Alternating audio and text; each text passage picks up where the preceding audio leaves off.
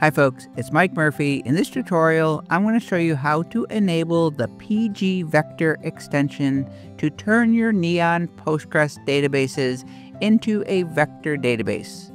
So you can store and search vector embeddings which are required when you are building RAG or Retrieval Augmented Generation systems. In this tutorial, first we will enable the PG Vector extension using the Neon SQL editor. Then we will create a table to store text and vector embeddings. Next, we will add a vector index. This is going to make similarity searches faster, especially as your tables grow. We will then test everything by inserting some sample data and running a search query. The prerequisites for enabling the PG vector extension we must have a Neon account with a project set up. I will leave a link in the description so you can create a free account on Neon and get started setting up a project and a Neon Postgres database. If you haven't already set up a Neon Postgres database, I would highly recommend that you go back and watch my tutorial where I walk you through step by step on how to set up a new Postgres database on Neon. Step one, we're going to open the SQL editor in your Neon project dashboard. And the SQL editor is very similar to the terminal or the command line interface. Open a web browser, go to neon.com, click on login to log in to your Neon dashboard.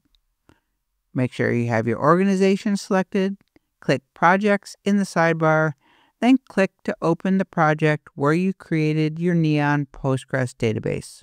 I want the production branch selected. That's where I created my database. Then I'm going to click on SQL Editor. Now, I don't want to view all these old queries, so I'll just click on Saved where I currently don't have any saved queries. The PG Vector extension is enabled per database.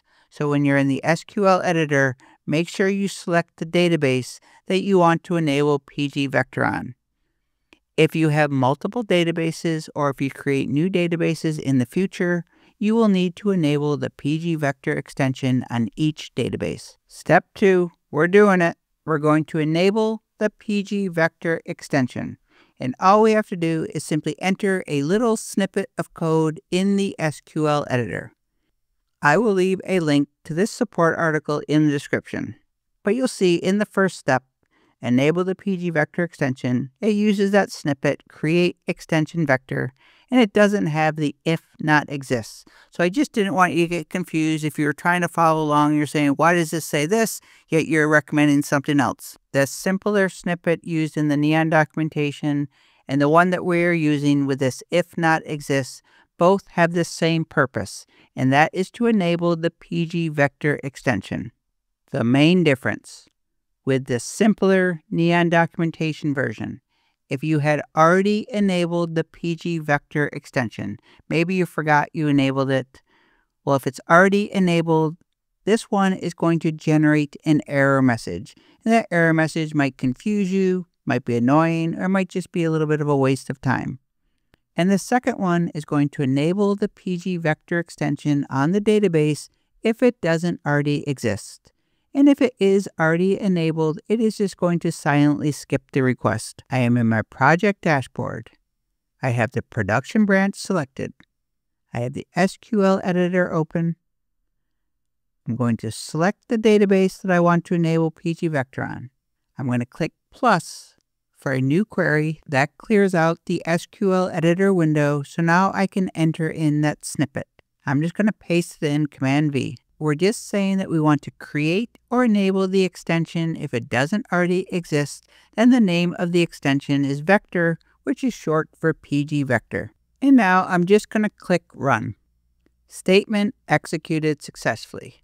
That is all it takes to enable the PG vector, and now your Postgres database is basically a vector database, or it's enabled so you can now store vector embeddings for a RAG system.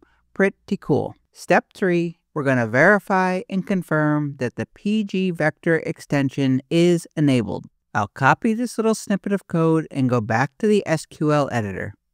Now the SQL editor works very much like a notepad. So you don't have to create a new query for each new command that you use, but you want to make sure that at the end of each command there is a semicolon. And you can add spaces in between the commands. So I'm just going to click my cursor at the end of that first command. I'll tap return a couple times and I'll just paste in that second command. You can also add comments, which is a great way to keep things organized. It also helps you remember in the future what each of the commands do. To add comments, I'll go to this top line here, tap return, put two dashes, so dash dash, I'll put a space. Everything after the two dashes is going to be ignored. So I'm just going to put in enable PG vector extension. I'll go down to the second line, dash dash, space. Now I'll put verify PG extension. And to run commands, when you have multiple commands, what you do is select what you want to run. So with the command selected, then you click the run key. If it returns something, that verifies or confirms that the PG vector extension is enabled. Nice work. Step 4 is the centerpiece of a RAG system, and it is the reason why we enabled the PG vector extension, as in step 4, we're going to create a table to store all of the text and the vector embeddings. This is the vector store. Now I'm going to copy all of this, and anything after the two dashes is just a comment so Command C, I'll tap return a couple times and press Command V to paste. So this first line is saying that we're going to create a new table and the new table name is documents.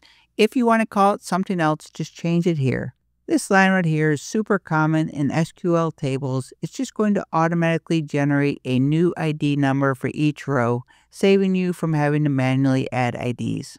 The context text is the original or the raw text that gets converted into vector embeddings, and we store both the original text and the vector embeddings in our vector store. Metadata is where you're going to store all of the optional info, things like titles, tags, authors.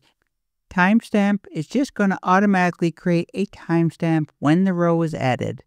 The most important thing to be aware of in this step is right here, embedding vector. This number right here is going to change depending on the large language model or the LLM that you are using. So you really have to pay attention this one as this number needs to match the dimension given by the large language model that you are using. All of these are columns, and this embedding column is the column that is actually using the PG vector extension. 1536 is the dimension used in the very popular OpenAI embedding models. And definitely do some homework on embedding models. As the higher the dimension number, the more expensive it's going to be. Now you're going to get better quality with a higher dimension, so you want to find a balance between getting good quality and keeping the dimension number as low as possible. It is time to create the table that is going to store all of our vectors. This is going to be our vector store in the RAG system. Before I do that, I'm going to come over here and click on tables. So I just want to point out that I currently just have one table called MMU for Mike Murphy Unplugged episodes. This is going to be for all of my podcast episodes. I'll go back to the SQL editor. I'm going to select or highlight the entire command and then press the run button to create our new table called documents. We'll go back to tables, and if everything worked correctly, we should have a new table called documents with five columns. I'll go back to tables, and bingo. There is our documents vector store. If you look at the headers at the top, exactly as we created it, perfect. Let's go back to the SQL editor.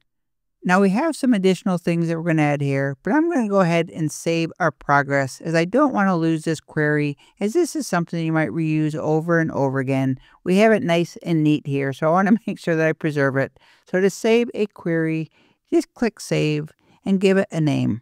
Enable PG Vector plus Vector Store. Click Save. Now it's going to be in this Save tab and you can just click it and open it up. You can rename it or delete a saved history, but now we know that we have this saved, so we don't have to worry about it. In step five, we're going to add a vector index. This is going to really speed up similarity search as a vector index works like a library card catalog. So the database can quickly jump to the exact thing it's looking for without having to go through everything line by line. To add a vector index, I'm going to copy this code and notice at the top it already has a comment added to it. Command C to copy. I'll jump back to Neon. I'm in the SQL editor. I'm on this last command after the semicolon. I'll tap the return key a couple times to make some space. Command V to paste. So it's got the comment on the top, so I'm keeping my query nice and organized. I'm going to select all of this and I'm going to run it. The reason that we're getting this message at the bottom about little data is typically you're going to get better performance if you add the vector index when you already have data in your tables. It is okay to add it as we're doing right now, but that's why you're seeing that message. And to finish up this tutorial, I am going to insert a test row of data and then run a similarity search. This is to give you a sense of how your new vector database is going to actually work inside of a real RAG system. When we created the documents table to store the text and the vector embeddings, we used the model dimension of 1536. Whatever embedding vector length you use in your table, so we use 1536. That means when you insert data, you must include exactly 1536 vectors, or these individual numbers inside of the square brackets. For the sake of simplicity, so it's easier to understand the demo, I went ahead and created a new table called Documents Demo using the exact same steps that we just went over, only instead of making the embedding vector of 1536, I made it 4. That way I only have to import the 4 vectors to show you how everything is going to work. I'm going to select all of this test row data and copy it, Command C. I'll go back to the Neon console, I'm going to click on tables just so you can see documents is the table that we created together with the 1536 embedding vectors. And the documents demo table, I set up the exact same way, only I use the embeddings vector duration of 4. And if you're wondering, how do you check or how do you know what vector dimension you use in which table? I have the original documents table selected that we created together and if I go to the embedding vector column, you will see in parentheses the embedding dimension of 1536. And if I select the copy, the documents demo, you will see that embedding vector is 4. I've got this sample data copied to my clipboard. I'll go back to the Neon dashboard. I'm in the SQL editor. I'm going to click plus to create a new blank query so I don't mix it with the one that we saved. I'm going to paste in that sample data. This is going to insert one record or one row into the table called Documents Demo. This is the original or the source text that we want to eventually be able to use an LLM to work with, and these are the vector embeddings that correspond with the original text. I'm going to select everything and press Run to insert that record into our Documents Demo table and to confirm that the test data was inserted as a row in the documents demo table, I'll go back to tables, make sure the documents demo table is selected, and bingo. There is our test data inserted as a record in our vector store. The similarity search is going to look for text that is similar in meaning to the vector embeddings. And for this test, we just have the four vectors and we are storing the vectors in our table that is called Documents Demo. And the reason that we are able to store these vector embeddings is because we enabled the PG vector extension. This is exactly how it works in a real RAG system. Let's say that you want to create an AI powered knowledge base around your podcast.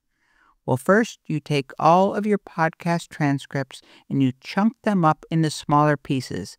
You then run all of those chunked pieces of text through an embedding model, and the embedding model converts all of that text into numbers, or vector embeddings.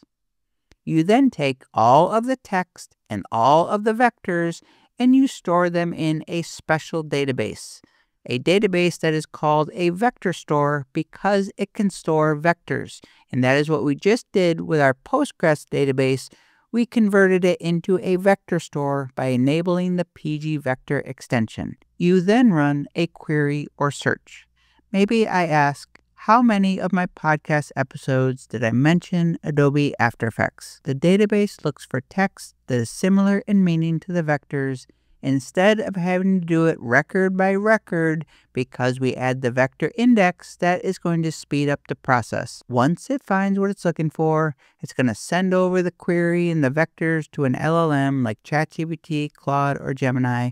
In a matter of milliseconds, I will know how many episodes were about Adobe After Effects. Let's run a similarity search on our documents demo table.